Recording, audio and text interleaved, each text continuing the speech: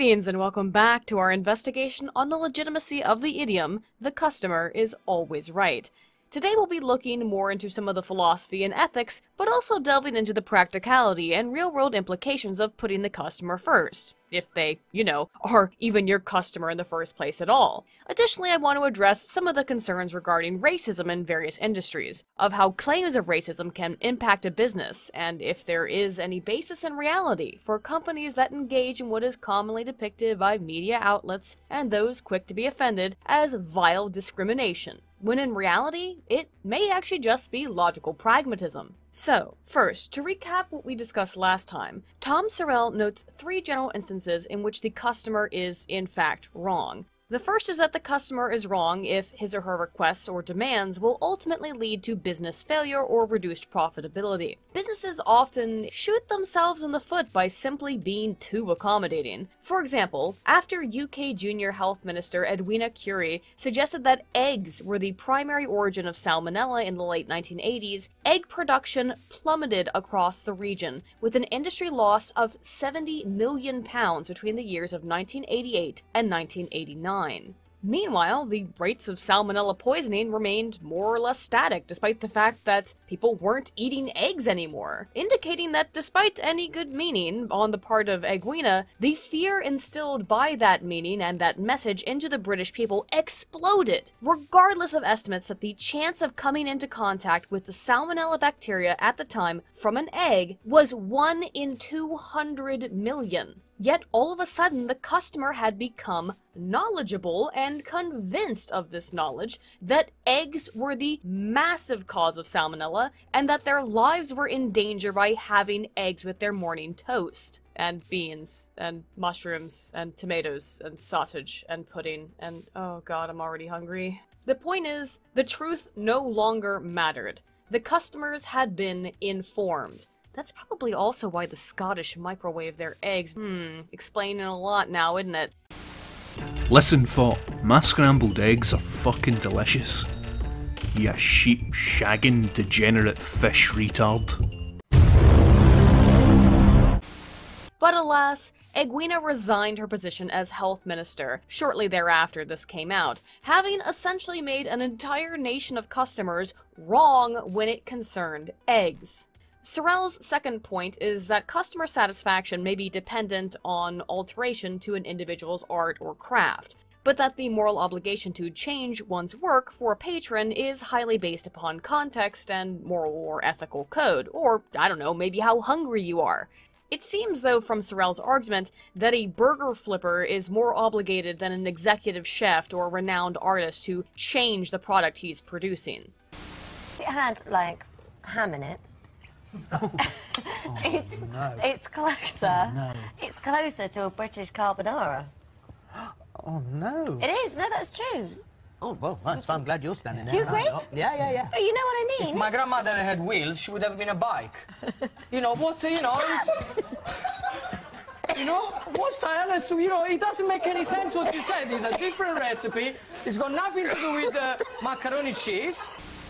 Finally, Sorell argues that the customer may be wrong when his or her demands result in negligence or in injustice. Sorell argues that it is immoral to provide services which lead toward such an outcome. However, I find that claim a bit spurious and difficult to isolate logically. What I mean by this is that sometimes it's difficult to separate morality and ethics from the bottom line and long-term detrimental effects are sometimes, in that instance, subjective in nature. If you're more worried about the morality and ethics of your company, well, then maybe along with that will come financial success. Look at Chick-fil-A, for example. In 2014, the average sales per restaurant of a Chick-fil-A was 3.1 million. Compare that to KFC at less than 1 million per restaurant, 960,000, and to McDonald's at 2.5 million per restaurant. In terms of total company sales, Chick-fil-A brings in, at least according to the 2014 data, $5.8 billion a year. That makes them the eighth largest fast food chain in the US at least by profits, but not by number of stores or size. They have less than 2,000 restaurants, and none of them are open on Sundays. Compare that to McDonald's, which has 14,000 restaurants in the United States. Chick fil A refuses to sacrifice some of their morals, such as being open on Sunday, and yet they have massive financial success.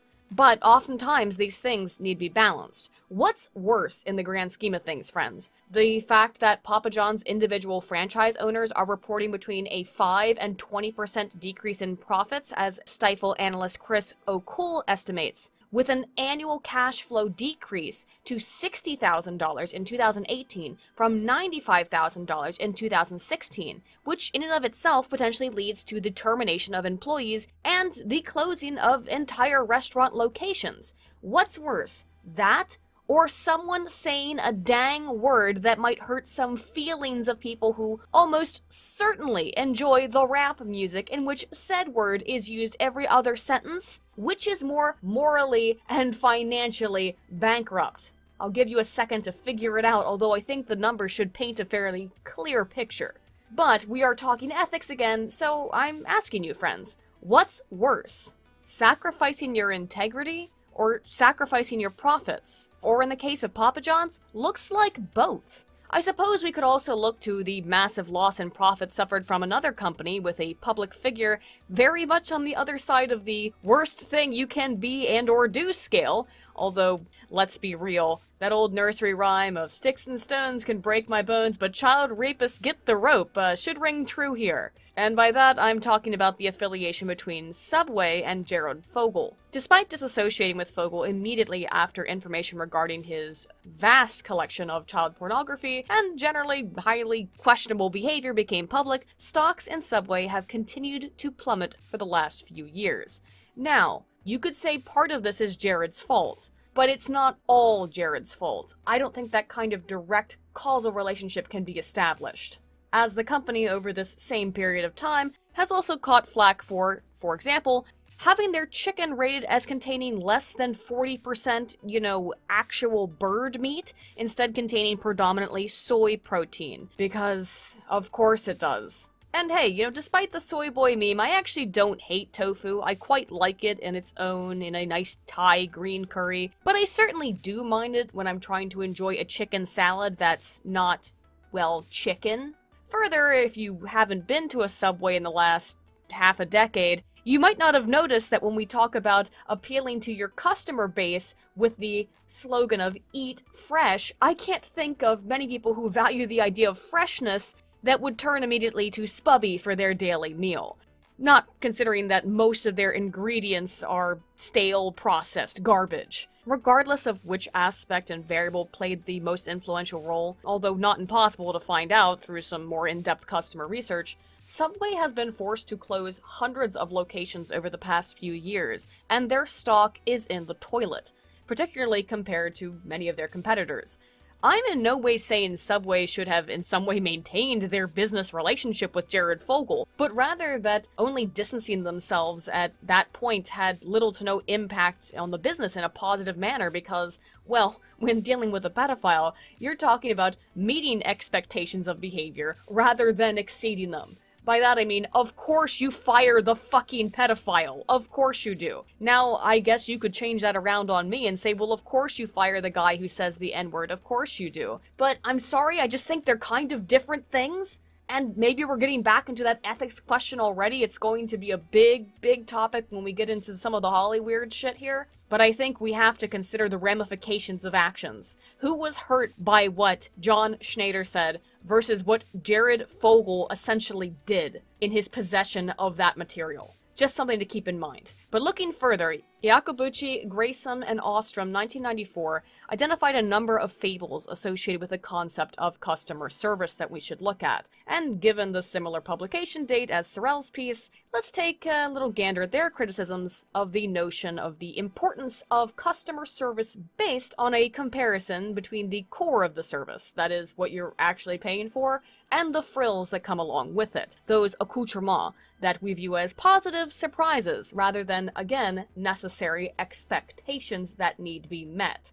Going back to a field I feel a bit more comfortable in, we might call this a positive expectancy violation, but the researchers in this study refer to it as the GAP model, which posits that consumers desire their experiences with a business to exceed that which they anticipate. In other words, going the extra mile in service. It may be, then, the researchers argue, that particularly with utilitarian purchases, the core of the product outweighs any potential trappings that come bundled together with it. Further, they suggest that given about 50% of product failure is on the side of the customer, the entire concept that the customer is always right is inherently absurd, as most customers are boomer dummies who don't know how to read instructions. Iacobucci et al. also question the cost-benefit ratio of appealing to customers first and foremost with frills and placations that serve more as indicators of customer care than actually being representative of the core product that you're providing. For example, you may get more customers on your doorstep if you announce that you're holding a raffle for a bitching Lambo at your car dealership,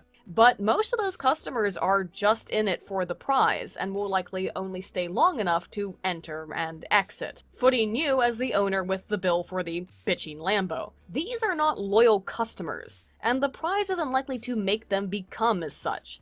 Similar is the concept of segmentation, in that some segments of the population are just unlikely to be attracted to your product or company, and while you want to reach as many potential customers as possible, shouting into the void is shouting into the void. It is pointless. As I said in the last video, Twitter activists don't eat Papa John's pizza on a weekly basis, just like they don't eat Burger King ma imaginary pink tax chicken fries. Introducing chicken fries for a buck 69 and chick fries. It's the same chicken fries you love, but for way more, because girls like pink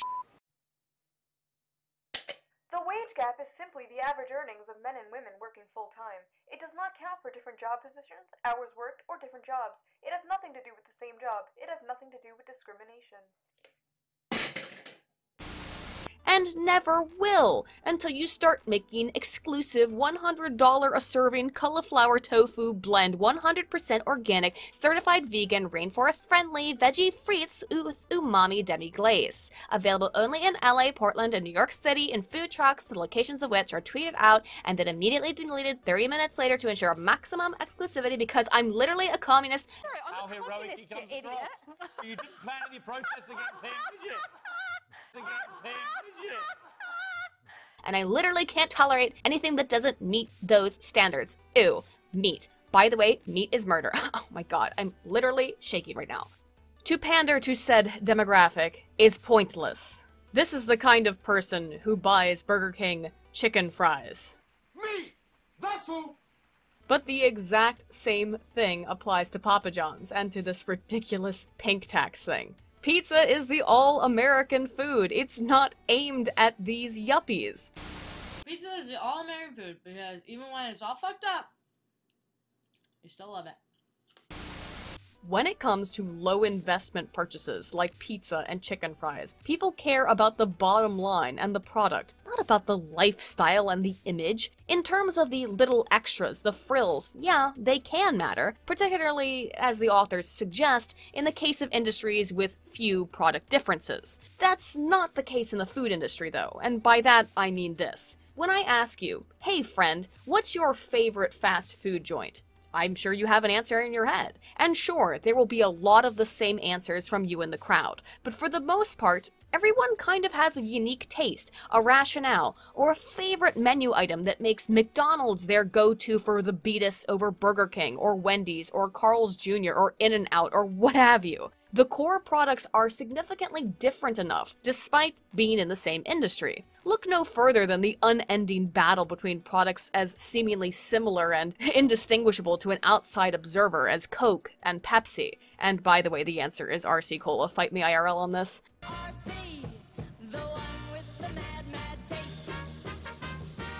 Yeah, I bet each one of you has a favorite sody pop. But which team of plastic industrial tubing are you into, hmm? Come on, which PVC manufacturer really gets you going? Supplemental frills may be particularly attractive to the layperson who knows less about plastic industrial tubing than even I do, and I don't know dick. But for concerns of what to have for dinner, everyone can make up their minds on that pretty easily. You don't have to be a rocket surgeon. The fastest way to get money is to steal a bank machine. It doesn't take rocket appliances to realize all you gotta do is take a fucking chain, hook it up to a truck, and yank the fucking bank machine out of the store.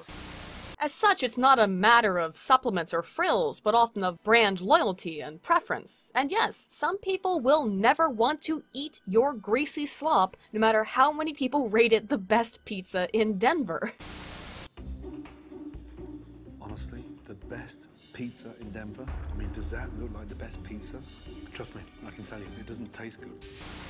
And on that last note, similarly, Iacobucci et al. describe the insipid and naive nature of service guarantees. To say satisfaction is guaranteed is ridiculous, as inevitably, someone will not be satisfied with your service for some reason or another. Likely, often, a reason that is completely outside of any controllable variable under the influence of any given business. Some people are just in a shitty mood, and some people just act shittily all the time. That's their nature.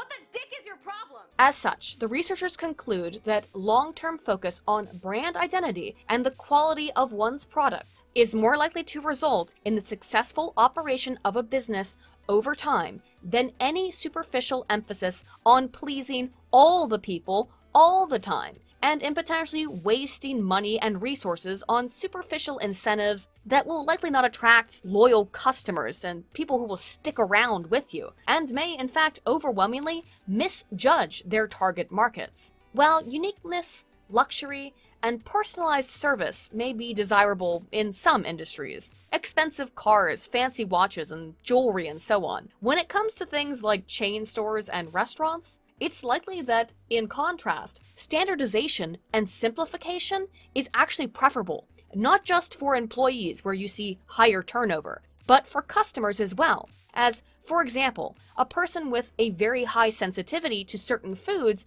may know that, say, Papa John's is something that doesn't bother their stomach. My stepmom is precisely that way when it comes to food. So when we're traveling, we know that we can go out somewhere to eat that's novel, and she will have to bring along her own peanut butter sandwich in a little baggie, or we can stay in and order from a local Papa John's, knowing that neither of them will result in her having to take a trip to the hospital. And I know someone's gonna make a comment about it, so before you do, she just knows that Papa John's doesn't bother her. It doesn't matter if it's necessarily reasonable or logical, she knows what Papa John's tastes like and is okay with Papa John's pretty much everywhere. That's a real story, by the way, guys. Uh, I'm not even just substituting Papa John's there, that's legit.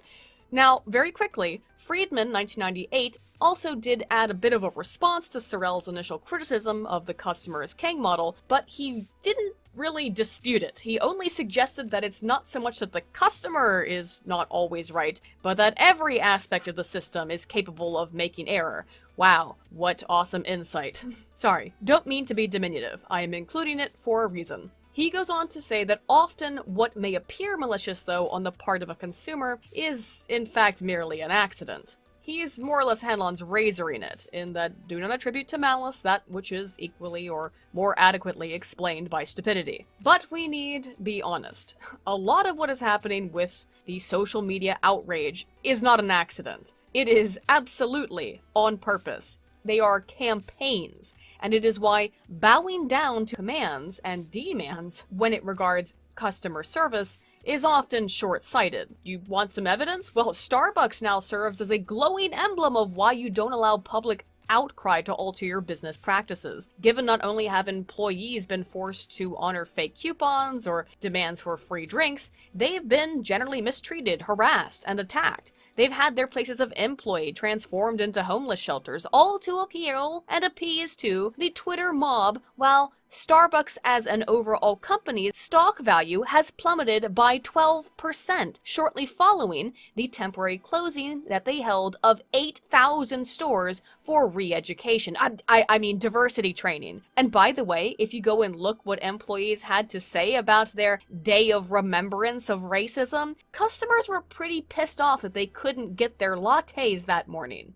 Not looking like it's so far so good, Justin, what we can see here for Starbucks and Papa John's then, is it? Let's look a little bit more though at some historical and practical examples to provide us with some more context though. Kjerulf, 2014, in an article for Huffington Post of all freaking things, raised five reasons for why the customer is not only not right, but outright wrong, beginning with an anecdote from Herb Keller. Former CEO of Southwest Airlines, in remembering a particular repeat customer of the airline who complained without fail after every flight of her disgust with the service and demanded the company accommodate her over and over in a revolving series of issues that occurred after each and every flight she took.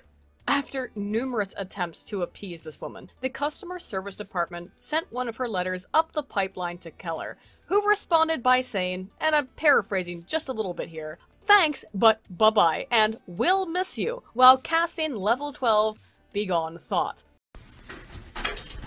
Begone, thought!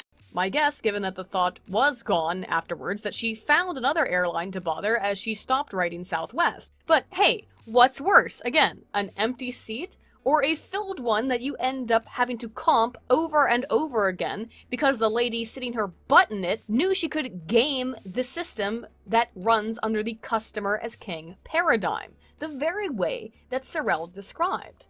Secondly, Kjerulf states that an overemphasis on customer satisfaction makes employees simply unhappy when the needs of the customer are always placed first, and we've certainly seen plenty of evidence of that of late. But it's in no way a new phenomenon. Gordon Bethune, former CEO of Continental Airlines, said of employee customer balance that, quote, when it's a choice between supporting employees who work with you every day and make your product what it is, or some irate jerk who demands a free ticket to Paris because you ran out of peanuts, whose side are you going to be on? You can't treat your employees like serfs. You have to value them.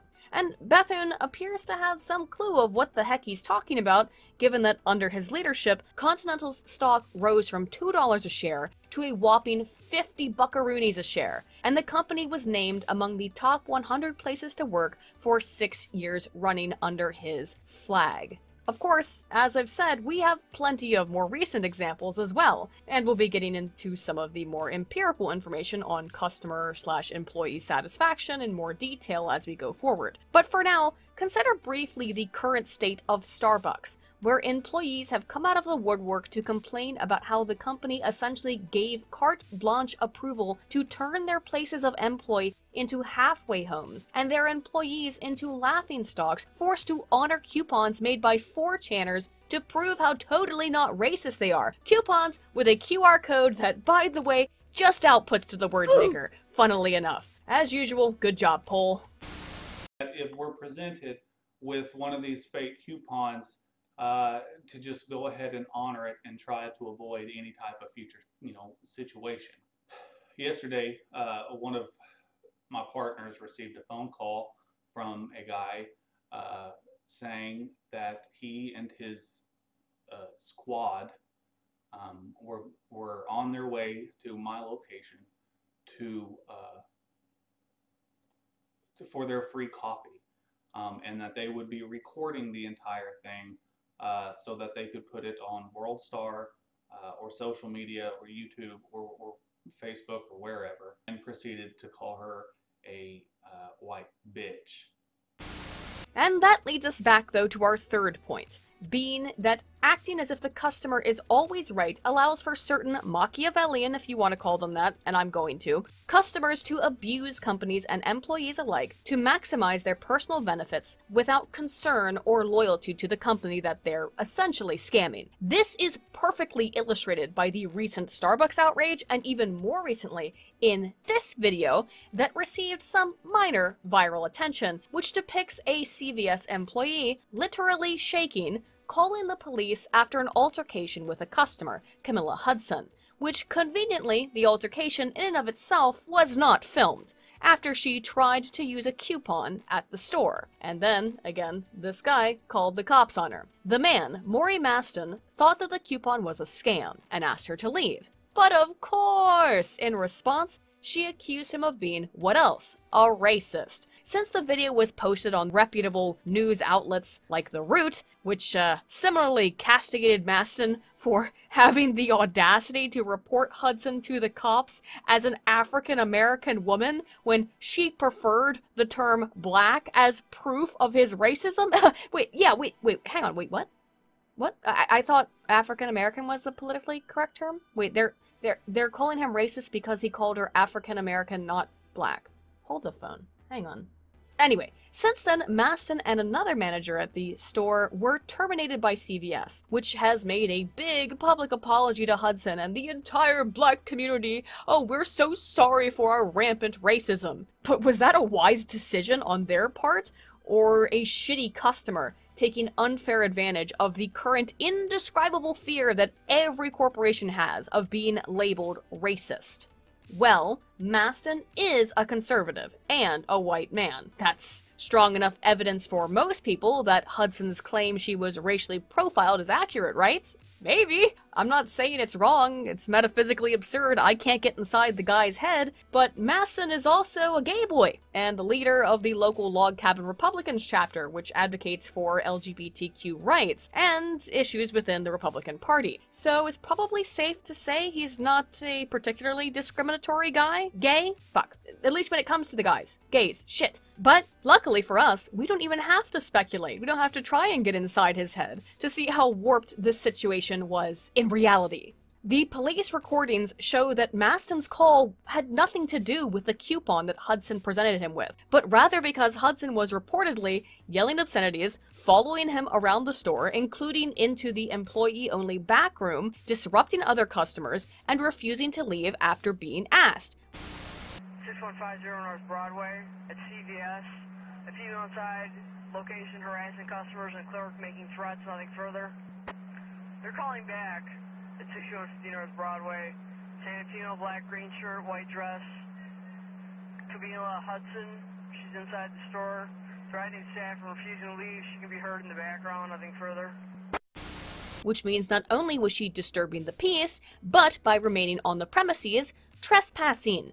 Oh, where have I heard that before? You don't even have to take Maston's word on the call with the cops for it. Another customer, Markeisha Jordan, doesn't sound like a white woman, I could be wrong, but just saying, reported witnessing the incident and described Hudson as yelling at Maston, following him into the employee-only area and making her personally feel uncomfortable. But all that harsh, totally not racist reality aside, let's address the coupon situation itself, because that's the real emblem of the unfair customer advantage.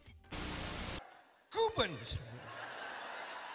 Where do I get a coupon? You see that line over there? It takes forever. I stood in that line for an hour. I got to show them a driver's license, birth certificate, fill out a form. They mail that away. Send me back some coupons.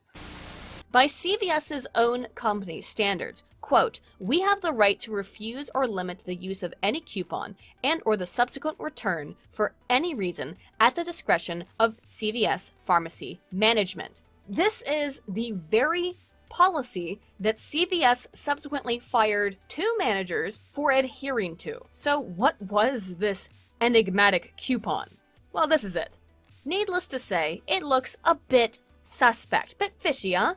It requires no proof of purchase, it's not buy one get one free, it's just free shit. It has the word CVS stamped onto it hastily with no logo. No specific products or things need be purchased are mentioned, it's just general CVS stuff. It doesn't have anything pictured, and it has a maximum value of free, absolutely free products of up to $18. Yeah, a little bit suspicious to say the least. By CVS's own company standards, this is not an acceptable coupon given it does not say it can be redeemed at CVS, but merely includes the store's name in print, not the manufacturer's name, and possesses no CVS logo. Something you know it takes like 5 seconds to do in MS Paint, I'd point out. How lazy are you? Thus, considering the coupon is for incontinence products, you could not only describe the quality of it as crap, but Hudson and her claims of racism as full of shit. But I should be clear, a company, First Quality Retail, has confirmed the authenticity of this coupon. But considering other couponeers agree that it looks sketchy and weird, can you really blame Maston, who works for a store that is frequently scanned by fake coupon users, for not buying this amateurish looking turd at face value? I mean, I'll bring this up again later, but drugstores have the highest frequency, or drug related products, of shoplifting and theft. hang on, Aydin, isn't it still possible that Maston really just is a racist who unfairly misjudged Hudson's crap on before giving it a more thorough inspection or benefit of the doubt? Of course it is. And there's even some precedence in anticipation of racially influenced biases on the part of organization and employees associated with CVS we can look at. By that I mean this is far from the first time CVS has caught some flack in the public for supposed racial profiling. In 2015, four former employees of the company filed a class action lawsuit against it, claiming that a store loss prevention supervisor directly instructed them to actively engage in racial profiling against black and Hispanic customers, with their claims that the supervisor made frequent statements such as, quote, black people always are the thieves, and that, quote, lots of Hispanic people steal, and to, quote, watch the black and Hispanic people to catch more cases. Now, the fact that there has been no media updates about this case over the last three years leads me to believe it probably is rotting in legal hell if it hasn't just been dismissed, considering well, you're never going to be able to prove that shit if you don't have a recording, but even if you could, well, hang on, let's wait a minute before addressing that point. CVS was also under scrutiny from the U.S. Equal Employment Opportunity Commission, the EEOC, under charges of discrimination up until June 6 of 2018 for um, giving prospective employees personality tests, which the EEOC claimed, in more indirect language than I'll use here, adversely affected brown people. Yeah, that's right. The US government, in an attempt to display how totes not racist they are, admitted that people of different races, on average, respond differently to personality test instruments. You heard it here first, folks. The EEOC are race realists. I mean, you wouldn't want to hire people who are based on personality profile trends less likely to engage in larceny on average, now would you? That would just be silly. I'm not even talking about race. I'm talking about personological differences. Yeah, particularly you don't want to do that given that employee theft, while on the downward trend over time, typically rivals, if not supersedes, shoplifting as the most major loss in inventory. Now, no, no, no, no, no, no. We wouldn't want to screen our employees or anything, as is, you know, par for the course and almost every single goddamn industry, if not every industry that exists. Of course, you screen your employees.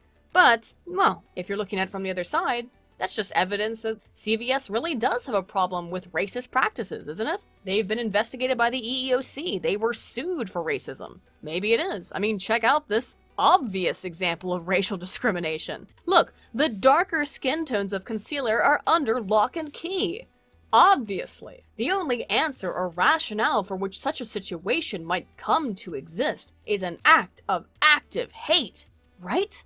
Well, in the case of racists and loss prevention, CVS certainly isn't alone there. In January of 2018, Walmart also came under fire for similar issues of supposedly placing beauty products aimed at African Americans behind glass cases and locked doors. With a lawsuit filed by Essie Grundy and her lawyer, who else but the famed ambulance chaser and discrimination napkin, Gloria Allred. Grundy claims in her lawsuit that she was attempting to buy a comb that cost 48 cents. But as far as I can tell, and correct me if I'm wrong, please do actually, this is the video that was either recorded recorded by Grundy or by somebody else at the same Walmart location, and even if it's not, if it's anything like this, it's an aisle of expensive hair products all under lock and key. You know, just like razors, and whitening strips, and other things commonly stolen because drug and healthcare products, as I mentioned, are those products most commonly stolen according to the National Retail Federation Security Service survey data.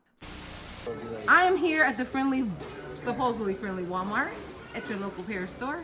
And as you can see, I have a worker here that's supposed to be helping me unlock the African American hair products. As you can see, they're all locked up all the way down. Even the hair dye is locked up. But you come around the corner, you come around the corner, and guess what? None you know which one you need because I got a line waiting on me over there. None of the Caucasian products are locked up at all. This is racial profiling at its best. Followed by women's clothing. Not surprisingly there. It's not like the items are priced differently, I should point out. I mean, this picture may look pretty amusing at the outset, but it's not like the product aimed at black people here costs more, as the pink tax idiots would have you believe. When you get right down to it, that's all loss prevention is about, trying to normalize the playing field to, you know, reduce loss. These items get locked up because they are the most commonly stolen items. Hence why the powder in this image was missing in protest. Obviously. No, no, no. They stole it. That's why it has a lock on it. The point is, some customers are just shitty. They lie, they cheat, they steal.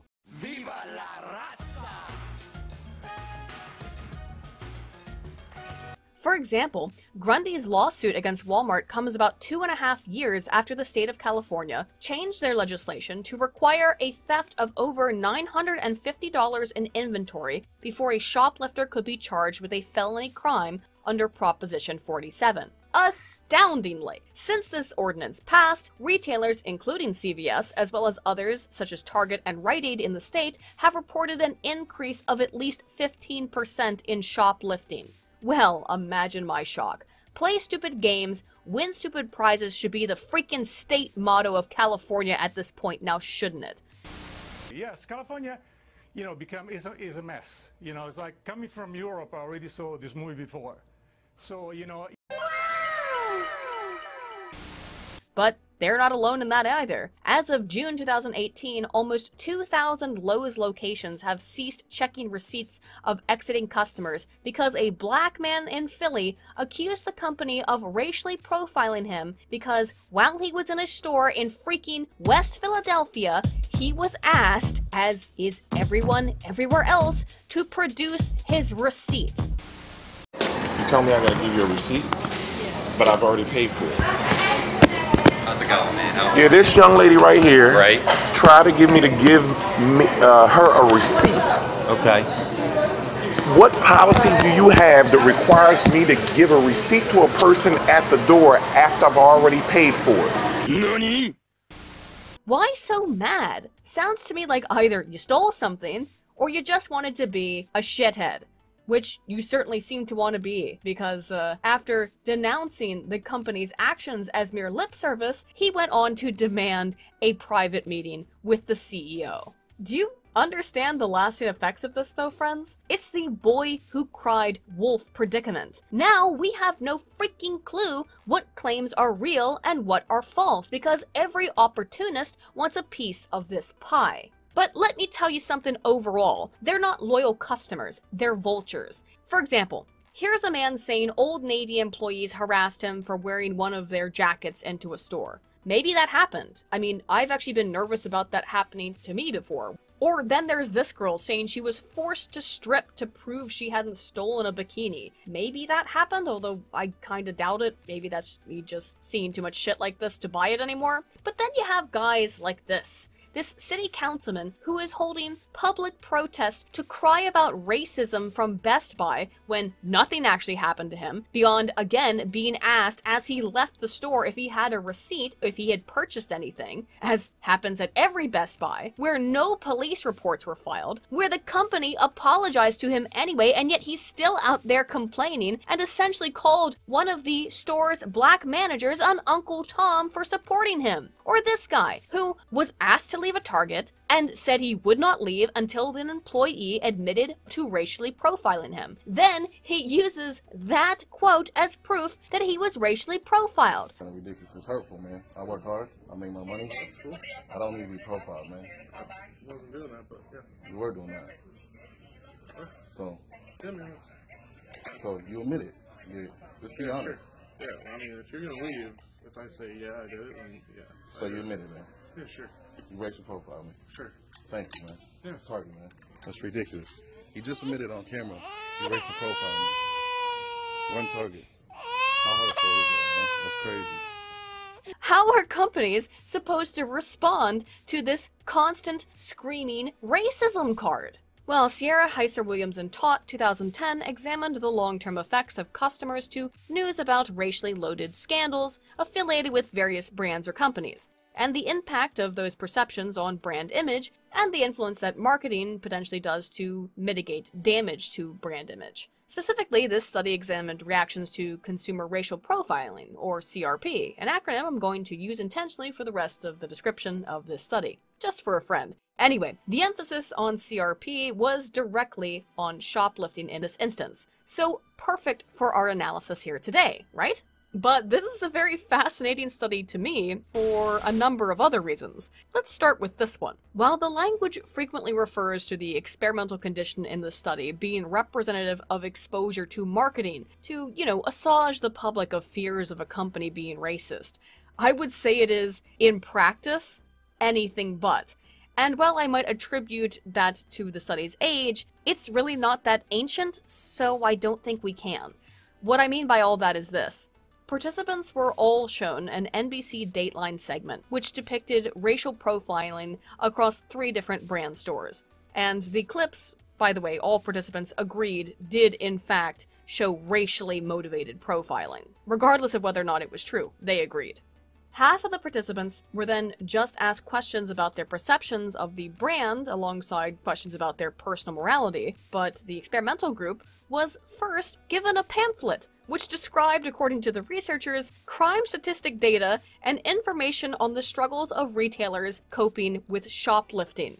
Um, so yeah, the so-called marketing condition was really a red pilling condition when you think about it. Maybe just a little, as it certainly did have an effect, but maybe not in the way you might anticipate. Immediate responses of exposure to CRP were more negative in the control condition than in the what I'll call red pill condition.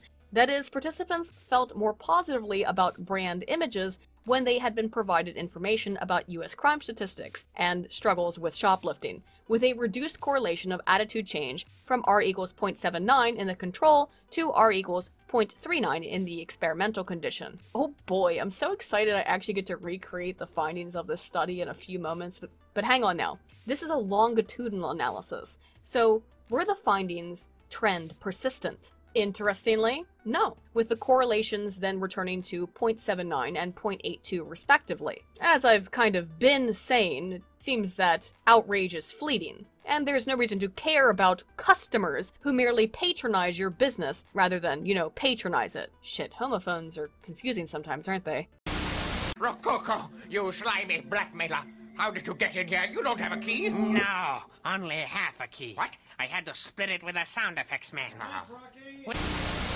After a month, all businesses' images had begun to regress towards more positive perceptions. And while this return to normalcy was seemingly more rapid in the red pill uh, marketing condition, it rose in every case, except one, in one brand, Polo. What makes that more interesting, though, to me, is that the researchers concluded from these data that they indicate marketing has a potential positive impact on dampening the negative effects of brand image after the CRP, and that might be supported by the data if any company ever in the history of the last freaking 30 years of market research had ever once responded to such a racially motivated event in a media vacuum, by the way, by disseminating national larceny data. Certainly, firing long-term employees, restructuring your entire organization, making massive public apologies in self-flagellation, and generally acting bitch-made, that's how companies tend to respond to these kinds of incidences that we've seen in the last couple years. And that could not be further removed from the manipulation that the experiment conducted here in its attempt to simulate the PR cleanup effect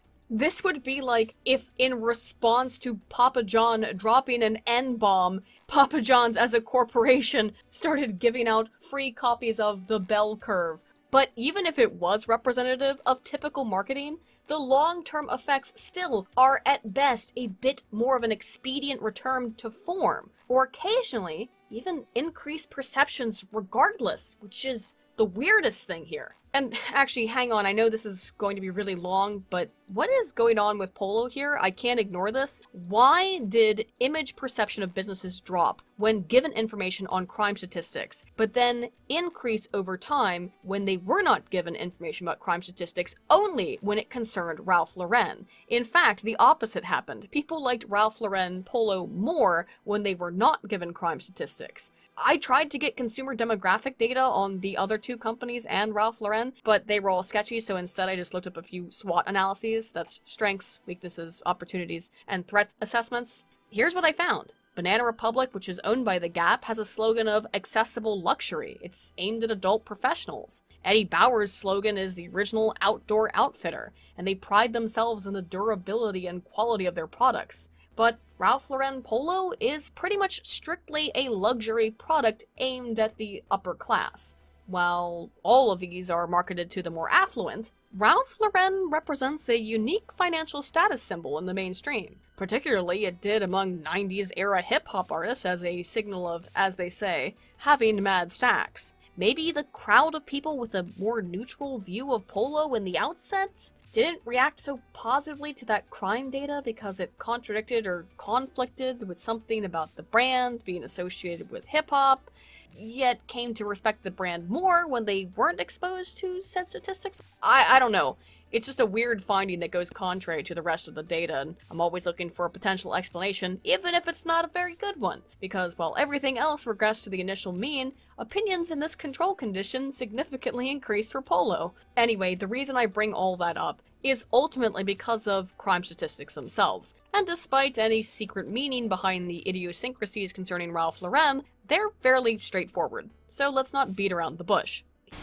Perhaps you should let George. No! That is Carlton. I'm in a position to scratch his bush if he'll scratch mine, capiche? Hello?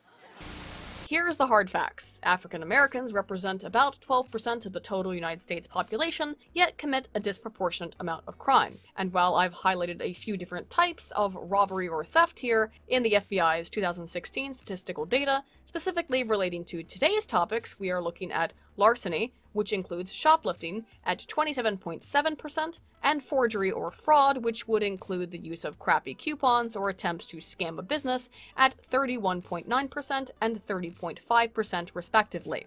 The fact is that the CVS loss prevention guy, who those four employees tried to sue over being racist, he was factually not incorrect in aggregate. It doesn't mean he wasn't also potentially racist, it just means he wasn't wrong. Now, I would be remiss to not include this potentially conflictory data, and as such, let's take a look at Blanco et al. 2014, which expands upon the condensed variable of larceny and isolates shoplifting specifically. And they found that white people were actually more likely to have shoplifted at one time than African Americans, although all races paled in pale face comparison to the red man, who was apparently the most adept at reclaiming his land in the form of stealing from the oppressive retailer. Warren, she seems to have made it her job. Who? Pocahontas? Pocahontas? Well, no, she's. Look, look, she is. She is. It's very offensive. You tell me. Oh, oh, really? Oh, I'm sorry about that. Uh, Pocahontas? So that what you said?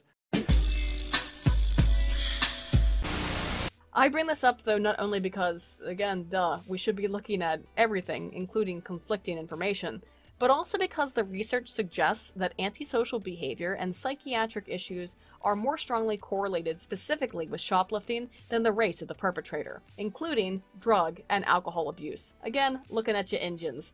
Shit, sorry about that, guys. Keep in mind, though, the FBI data is based on criminal charges, while this Blanco study, that's based on self-reported shoplifting behavior. So, when it comes specifically to shoplifting, the ratios actually may not indicate that black people engage in more of the behavior or engage in it more frequently than those of other races, although the general FBI statistics concerning robbery and larceny remain. Keep both in mind though, as both do have potential bearing here. We know that complaints about racism can have significant effects on how businesses operate, often to their detriment based on fear of the dreaded label of discrimination. However, being discriminating is not inherently bad, and is in fact often based on, you know, reality.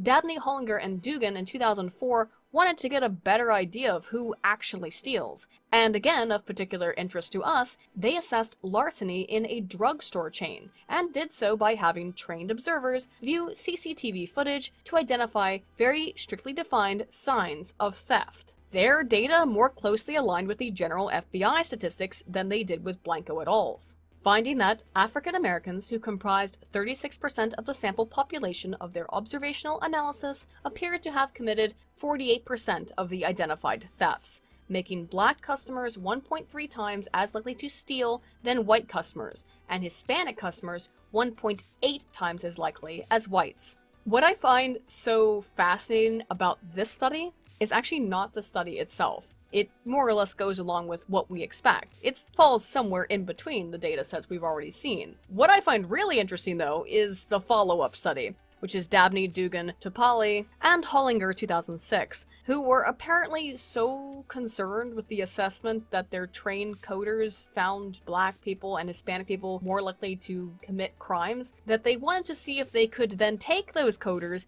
and essentially re-educate them into not observing more threats from minority populations. I'm actually not fucking joking. I'm, I'm serious, guys. It's an odd paper in a number of ways, but particularly in that if you look closely, you can see the exact moment where their hearts break and realize that they can't so easily train people to ignore reality. I mean, obviously we can do that, but not so easily. They did, in fact, manage to reduce the number of perceived threats by black and Hispanic customers in their coders, though but only after inducing very stringent criteria, additional stringent criteria for suspecting theft, with uh, more warning signs indicated. They gave more specific instructions to avoid racial profiling, and they gave these coders a non-random sample of video footage to more accurately depict the population demographics in terms of statistical breakdowns. Yeah, and despite that level of effort to force observers to not observe, this forwarded a difference in tendency to select minorities as suspicious of theft from 0.61 in those untrained to 0.42 in those trained. So, in short, yes, you can train people to ignore reality, to not notice shoplifting. And given the fact that we've seen trends of less and less apprehension of shoplifters, maybe because people are afraid of being called racist, well, that makes sense, doesn't it? The problem is it doesn't change reality. Reality is still a thing, and that means you will have shitty customers that will lie and cheat and steal their way into anything. And to pretend that there are no behavioral trends, there are no general statistical averages because it offends our sensibilities, that's ultimately bad for business. Machiavellian opportunists will always try to play you, and racism is just one potential trump card. But in the same vein, and going all the way back to the Kjerulf article, he also notes that some customers, yeah, are just bad, and will ultimately be detrimental to the company. That is obvious from the aforementioned case of people like Camilla Hudson. This is a person who wants to cause a scene, who wants free shit, who wants Gibbs. They're not a loyal CVS customer. Thus, was it a financially smart move for CVS to fire two experienced managers for following their own damn company policy of not accepting certain types of coupons? Well, you would think CVS actually would be more concerned, given that coupon fraud has been an issue for the company before, as in 2017, for example, two women in Ohio were arrested for theft of over $12,000 in products from various CVS stores in the area, and with many of those coupons being accepted by employees despite being obviously counterfeit. And, well, given that not accepting fraudulent coupons and attempting to mitigate said theft apparently is grounds for termination as racist, Guess what happens to CVS employees who don't follow the company policy on accepting fake coupons? Well, they get fired too. And fined. Last year, a CVS supervisor was fired for accepting bad coupons and giving discounts to customers, which cost the location she worked at around three grand. And then, said former supervisor, another three grand in restitution she owed the company in court costs. Sure, sounds like CVS is a great company to work for. Real damned if you do, damned if you don't kind of setup there. In contrast, you have organizations like, as mentioned in the Kjerulf article, Danish IT company Service Gruppen, which openly and proudly state their willingness to essentially fire a bad customer and to terminate contracts with those who abuse their employees or make outrageous demands of them. In other words, some customers and their requests are ultimately just bad, and as such, it's better for businesses to terminate that relationship than to maintain it long term, instead focusing on the relationship between the employer and the employee. As mentioned above, when employees fear termination, or even damnation in the case of Maston and CVS for doing their jobs, how can a company expect exceptional customer service from either those too afraid or too disenfranchised to put forth any effort? Hal Rosenbluth, former CEO of Rosenbluth International, now owned by American Express, noted the importance of happy employees on ultimately ensuring happy customers, which we will see empirical evidence for in the next part of this series. Happy employees have more energy and tend to be in a better mood, while employees in organizations that dogmatically stick to the customer as king approach likely feel as though they are not valued. They are not owed respect, and that they have no avenue of recourse when they are mistreated. Following the rules gets you fired and labels you a racist. Not following the rules and giving customers breaks also gets you fired and it gets you fined to boot. Why would any CVS employee then be motivated to do anything above or beyond or below and beneath in such an environment of fear? Finally, and the note upon which I want to end this video, and the question that I kind of asked at the outset. Again, is the customer always right? As we've seen extensively, no, they are not. The customer is very often wrong. And while not always intentionally malicious in their actions, the outcome is often the same regardless. Obviously, the customer is often right, particularly when they are actually your customer. After all, look at the struggling state of the comics industry as the companies that are involved in it bend over backwards to appease people who do not fundamentally buy comic books, and then go on to publicly lament the success of projects from individuals that consumers actually want to read. Why do you think Cyberfrog and Jawbreakers performed so well getting public funding? It's because consumers want to read them. But in short, the emphasis of customer over all else is an outdated, outmoded concept if it ever had any place in the first place. But as we've seen, it's not supported by any of the anecdotal, philosophical, or ethical discussions I've presented here today, as well as some of the empirical evidence, nor from the experiences of successful business owners and CEOs that we've discussed. Still, it's up to you, viewer, to make that decision for yourself. Herb Keller, though, of Southwest, further suggested in his account of his tenure at the airline that the idea of the customer as always right was, quote, one of the biggest betrayals of employees a boss can possibly commit. This sentiment is similarly shared by Gordon Bethune of Continental, who, in recalling a customer who was asked to remove supposed Nazi and KKK items of clothing while on a flight as it disturbed the flight crew, a story I am more willing to believe at face value considering it's now decades old, and in the account of a CEO's transformation of a multi-million dollar airline from worst to first in the name of the book itself, you know, rather than a Reddit post that ends with the entire cabin standing up and clapping. We're not racist.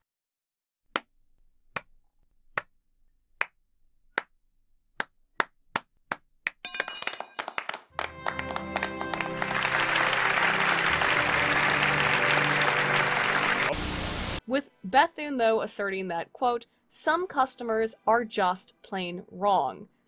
huh, plain. Get it? And that, quote, business is better off without them. And I think that's today's basic takeaway. Sometimes you need to divorce yourself from your customers if they're either not really your customers or they are causing serious significant harm to your business. The customer is often wrong, but when they are wrong, and we can quantify the cost and benefit analysis of just how wrong they are versus how much it would cost to capitulate to them, then we can definitely say it's not worth the capitulation. But we need more empirical data, and that's going to be the next part. We need to see the stats here. Is it worth it long time to fire an incredibly successful director who has made films that have topped the box office charts? or to blacklist a comedian or dozens of comedians out of fear of bad public relations and press? What about the reverse? In the case of Sarah Jeong, is it right for the New York Times, at least for their business long term, to have hired CEO's transformation of a multi million dollar airline from worst to first in the name of the book itself? You know, rather than a Reddit post that ends with the entire cabin standing up and clapping. We're not racist.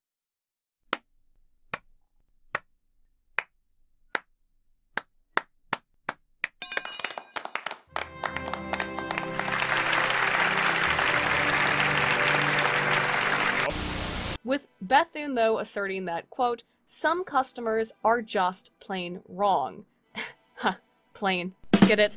And that, quote, business is better off without them. And I think that's today's basic takeaway. Sometimes you need to divorce yourself from your customers if they're either not really your customers or they are causing serious significant harm to your business. The customer is often wrong, but when they are wrong, and we can quantify the cost and benefit analysis of